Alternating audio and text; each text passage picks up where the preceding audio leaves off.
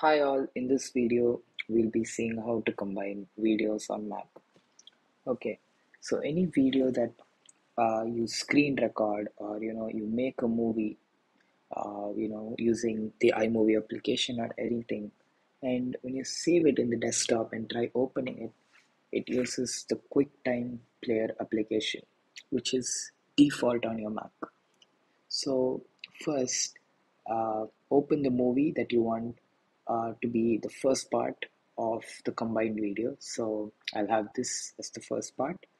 And let's say I want to combine the cricket video with the first clip here.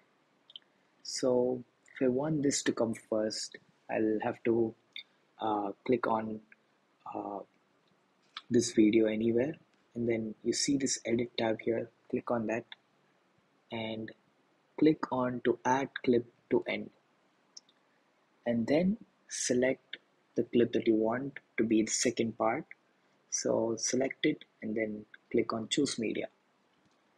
And it'll show a new sign here which says edited.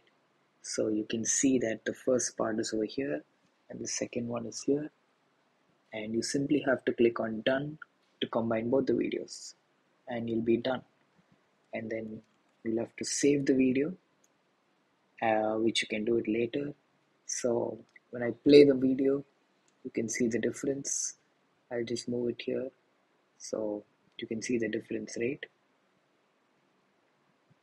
So this is how you combine videos on Mac. Uh, hope you found this video useful. Thank you